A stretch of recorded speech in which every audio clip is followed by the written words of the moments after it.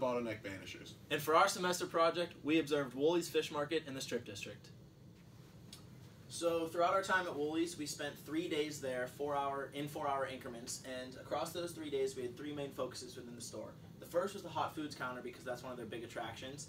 Uh, the second was the fish counter because a lot of people come in there shopping for their fish. And then finally uh, was the rest of the store. So we went around, took observations of all the other processes to get a better idea of the entire functionality of the store. Uh, so the hot foods counter, uh, here's just some pictures of what it looks like and how uh, the process goes. This is like where they get the food and then just goes on through. So, so the observation that we saw with this was the lines. Uh, the lines uh, with Andy's sushi and the hot foods conflicted with each other just because they were going in different directions and that just caused a bottleneck within the store and the customers. The signs, there's not enough signs to show where things are, what to do when in line and all that stuff. Uh, the counter progression is a FIFO, which is good because th- so they don't mess up orders or get orders done before certain uh, previous orders.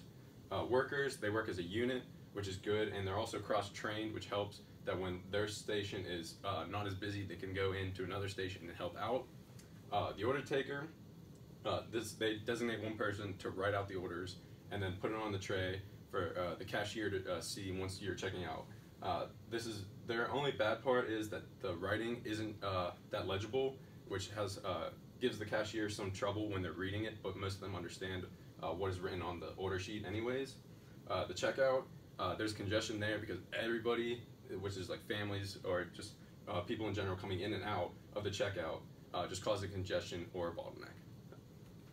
So as said, while we were at Wholey's, we spent three days there, and each day we took at least some observations of the hot foods counter. We broke up our observations into three main time brackets, and then we did the total time. The first was uh, their time in line. So if there was no line when they entered, obviously this time would be zero. The second was uh, the time from when they ordered to when they actually received their food, and the final time was uh, from when they received their food until checkout. Then we would take averages of each of those to figure out where people are spending the most time and where we can focus on our most improvements. Anything that you see in red uh, we deem to be approaching 10 minutes or over 10 minutes, and that's just too much time for someone to be in that small area. And the only time that that's justified is if someone's or, or, uh, ordering something broiled because that's a 10 minute process. But other than that, you can still see that there are a lot of times that are exceeding uh, what they should be. And this is our final day. And our final day, we spent, uh, it was actually the five of us that were in line, so these are these final five data points. And uh, all of the times averaged 15 minutes and 24 seconds from start to finish. That's just too long uh, because this is one of their busiest hours, and so we realized that there's a lot of improvements that need to be done. So, uh, talking about those improvements, the first thing that we saw is with those averages, uh, people were spending too much time waiting just from when they get their food to when they check out. And there's only one cash register, as you can see, these people right here are waiting. And uh, we actually talked to some of the employees, and during their busiest time of the year, which is Fish Fridays and Lent, uh, they actually do have a second cash register. So, it's our official recommendation that they uh, implement that permanently right over here. Uh, and for the lines, they need more distinct lines. Uh, so here, one of our other recommendations is have uh, the both lines go in the same direction, and the Andy's sushi line hook around so they can go right into the store. And because the, entrance is down here, so when people coming are coming into the store, uh, it's all just one flow direction, and they're not causing congestion within uh, the hot foods. Uh, this would cause some congestion here with people like trying to get in the line, but it's a better uh, solution than having them go in opposite directions. And then they just need more signs, uh, just to show what they need, uh, where customers to go to pay, uh, then or, or, to order their food, get their food, and then pay. Uh, and there's just other uh, small signs just to help the improvement of the store. And that wraps up hot, food, hot foods. Our secondary focus is the raw fish counter. When observing the raw fish counter, we noticed a few positives as well as some negatives. One of the positives being the fish refill time. Throughout our observations, we noticed a few instances where a customer's order would completely exhaust the display of fish, and it was very impressive with, we were very impressed with the employees' time that it took for the fish display to get completely refilled. I think our maximum time on that was about 55 seconds. Moving on to the negatives, there was a substantial amount of employee idle time. On average, there was about six employees staff behind the raw fish counter, and the most that we observed working at one time was four. So there was always at least two employees idle throughout our observations. Uh, the second negative was the inconsistency each employee seemed to have their own way to package the fish, which caused a lot of variance in how long it took for them to completely package raw fish and get to the customers. The next was the distance the employees travel. To package raw fish, you need uh, covered in wax paper, and they had their wax paper scattered all throughout the back of the fish counter, which caused employees to travel uh, fairly far distance each time whenever they were going to get the wax paper. And our final negative that we saw was the raw fish preparation. There was, again just a lot of inconsistency with how raw fish were prepared, and some things we noticed with efficiency issues that could cause a lot of uh, time that is unnecessary. So our few recommendations that we have is first to deal with the employee idle time. All of our other recommendations are work in process. So basically everything that we're recommending the employees can do while they're idle to be proactive. Our second suggestion is to train the employees to package the fish the same way. This way it would eliminate the inconsistency which causes unnecessary time when a wait time for the customer. And third is to move the wax paper closer to the counter, which would eliminate the distance travel, which will cut down again on time and employee fatigue because they won't have to be walking all over behind the fish counter. And our last two suggestions are to just pre-cut fish and pre-wrap them, which would eliminate the employee having to wrap them each time and having to weigh them out, which caused a lot of unnecessary time. And as well as cut off the heads of the fish because most of the time, whenever someone would order a whole fish, they would have the heads cut off, which added about 30 seconds to the process each time. So we feel that that can just be eliminated by cutting off the heads of the fish. So we're on to the last part of our uh, focus for the project. We're going to talk about the rest of the store. Now we're going to go to Dan first to talk about the observations. So for other store observations, other than the uh, fish counter and the hot food section, we noticed that there were other hot spots within Wholey's that uh, were high points of congestion for customers. So the first spot here, right here, is where the meat department begins. Um, Sam Wholey implemented a spice rack right where that black block is, and because of that, it would force customers to move through the meat department. But we found that more customers were more frustrated trying to move through the meat department, especially if they didn't intend to purchase meat in the first place.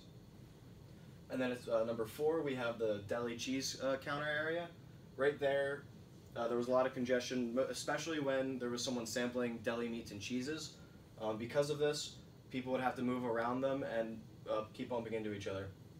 And then number five, we had the orange juice section, which is Sam Wholey's uh, probably his favorite display, uh, where he gets to show exactly how they make orange juice and they uh, squeeze it right into the bottle right there. Um, it's great for outreach, but it can cause a bit of congestion. And then at number six, we have the cash registers, where we notice there's a lot of congestion and buildup simply because not enough people can see the empty cashier lines because of a, a large amount of product in the way. Rolling on this So going off of what Dan said on the observations, we the only data we took was in the meat department, and we did two 20-minute time frames to see how many customers would go through the meat department and actually purchase meat. As we see here, there's two really low percentages in both the time frames that we took, and that leads into our recommendations to get rid of the spice rack. Uh, we want to move it because we value the flow of customers through the meat department and the store in general more than forcing them to go through the specific path that Sam Wholey sent them on to maybe purchase meat by forcing them to go through the meat department. So we feel like if we move that, it would be much more valuable to the store. Another recommendation we have is standing signs for the open cash registers. There's a sign hanging above the cashers right now that is barely legible and it's really small, and customers don't see it because we didn't see it uh, the first time we went through the store before taking an actual picture of it. And we feel that if we put standing signs with distinct arrows pointing to all the cash registers that are open, customers will know which uh, cash registers are open and they will go to those lines rather than getting backed up all the way into the produce section, which we saw several times during our observations. Um, the next recommendation is to move the chicken display by the cheese counter, and we want to do this because beforehand, on both sides of the cheese counter, there's three feet available for the customers to get through, and we uh, want to move it there so it can open that up, and so the people buying their cheese products won't get backed up into the meat department. Uh, and another recommendation we have is to replace uh, the display at the front of the store for baskets right here. So baskets right now, as of now, are randomly scattered all throughout the store, and this is just random random spots, and this causes congestion that maybe a couple people could get through and help the flow. So we want to put it at the front of the store so the customers can see them, and because this display does not get much attention from a customers, I don't think once we saw someone pick something out of this display. Um, Our last recommendation is to reduce the product in front of the cash registers. So in front of these three cash registers, not only is a sign hanging above it really small and very legible, um, but there's a ton of product there that necessarily doesn't need to be there. Um, there's a ton of space and a lot of the products in boxes. So we feel that if by eliminating that product or reducing some of it, uh, it'd be much easier for customers to get into the cash register lines rather than being backed up into the produce section, which backs up the entire store.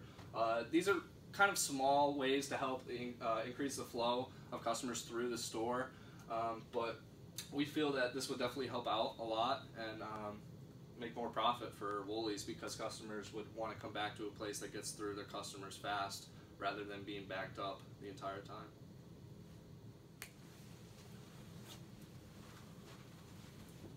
Thanks for watching our presentation.